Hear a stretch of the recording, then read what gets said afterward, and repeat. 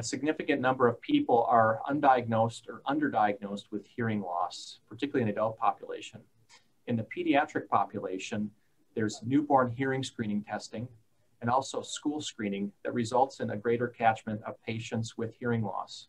In contrast, there really are no widespread accepted screening protocols for adults with hearing loss in most situations. And for that reason, hearing loss in the adult population in particular goes underdiagnosed and undertreated. There's a common misconception regarding cochlear implant candidacy that, a, that an adult has to be completely deaf to gain benefit from a cochlear implant. But in fact, over the years, the criteria for cochlear implantation has expanded significantly. And today, many people with varying degrees of hearing loss might undergo a cochlear implant. My name is Matthew Carlson. I'm a neurotologist at the Mayo Clinic in Rochester, Minnesota, and I'm the medical director of the cochlear implant program here. Today, I'm going to review a recent submission entitled Barriers to Access and Healthcare Disparities Associated with Cochlear Implantation Among Adults in the United States, which will be featured in an upcoming Mayo Clinic proceedings. Uh, sensorineural hearing loss, or so called nerve hearing loss, is one of the most prevalent and undertreated disabilities worldwide and also nationwide.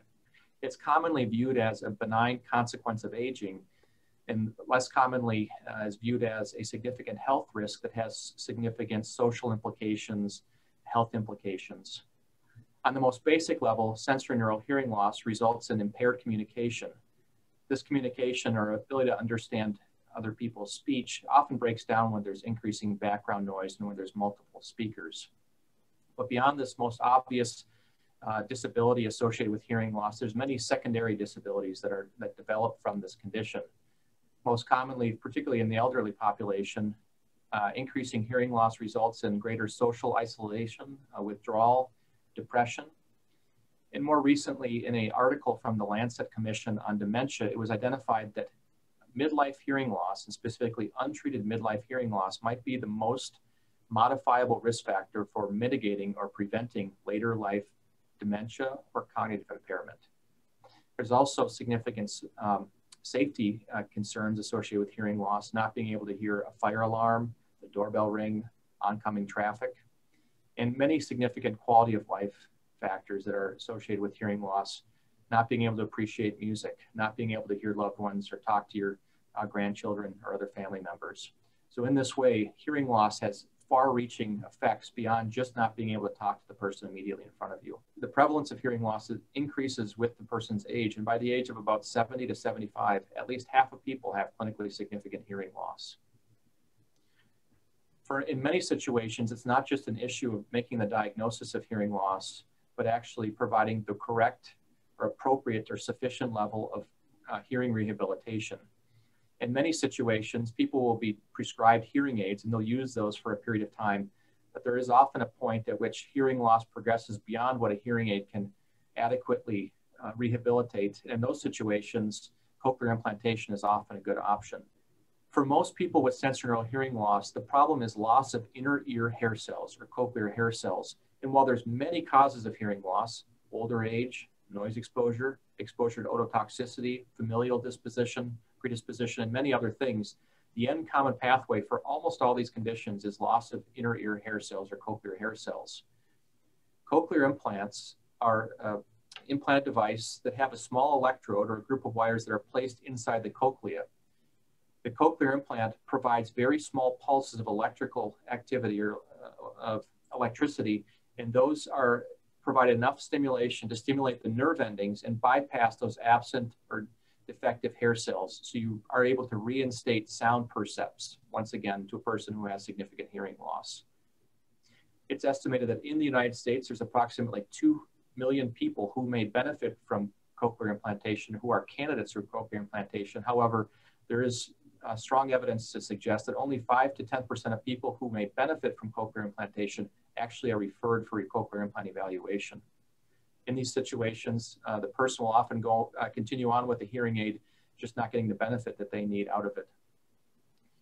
There's a lot of things that we can do as providers to reduce, uh, to identify hearing loss and also to treat it more effectively. Um, most importantly, on the front line by frontline providers and primary care doctors, implementing some simple screening questions may be effective. It's often that when we encounter a person in the clinical setting, we don't appreciate the degree of hearing loss they may have. And that's largely because the clinical setting is an artificial uh, environment. It's quiet. You're looking at one patient or one person, and you're speaking face to face.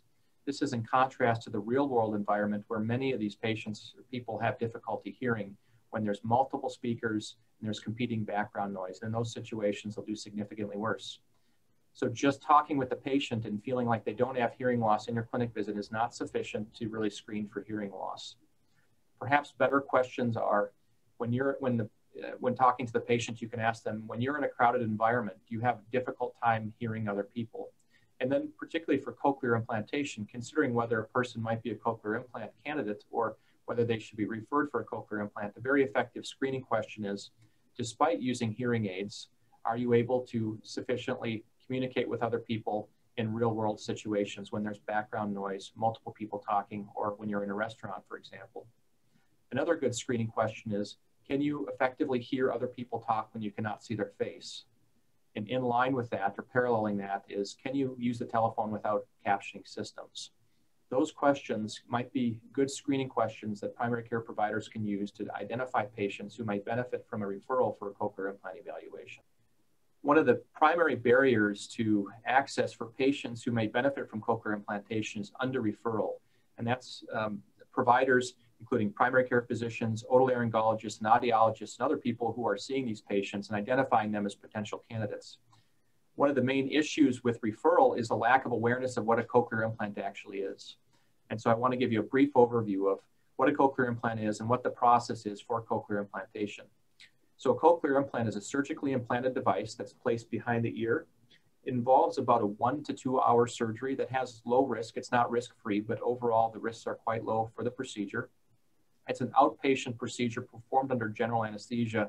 And because the, uh, the operative time is relatively short and blood loss is relatively little, uh, the, the risks associated with the procedure are relatively low. And it's very uncommon that someone wouldn't qualify just because of um, uh, health reasons or having significant comorbidity. So most people qualify for cochlear implantation.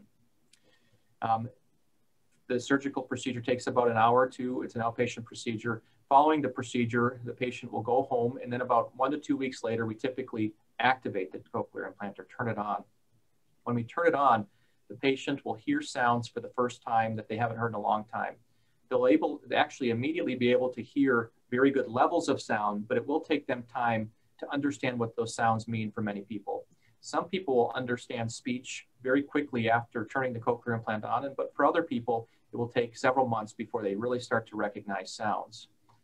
We, we, one of the most important things when we counsel patients uh, about the potential of cochlear implantation is the idea that it does take time to get better. So on average, a person's growth or performance growth with a cochlear implant is steepest within the first three to six months. And by about a year, they'll, they'll be at a relative plateau with performance with the cochlear implant. Most adults are implanted with a cochlear implant in their poor ear first. And if they get good performance with the cochlear implant, which we would expect they would, then they may be a potential candidate to undergo cochlear implantation in their other ear. There are situations where an adult may have undergo cochlear implantation in both ears at the same time, and that's most commonly when both ears have very significant hearing loss. Um, so again, most typically, the people that we are uh, considering for cochlear implantation are those that say, I've been using hearing aids for a period of time, but they're no longer providing benefit. I've got the most recent updated hearing aid types, or I've had several types in the past, but they're still not getting the benefit. And those are the people that might um, be the best to refer for cochlear implant evaluation. I hope this article in the upcoming issue of Mayo Clinic Proceedings provides frontline providers, primary care providers, otolaryngologists and audiologists and other people who might encounter patients with sensory or hearing loss information about when to identify or how to identify people who might be candidates for cochlear implantation so they can be referred in a timely manner to provide improved quality of life and also enhanced health for our patients that we care for. Thank you. We hope you found this presentation from the content of our website valuable. Our journal's mission is to promote the best interests of patients by advancing the knowledge and professionalism of the physician community.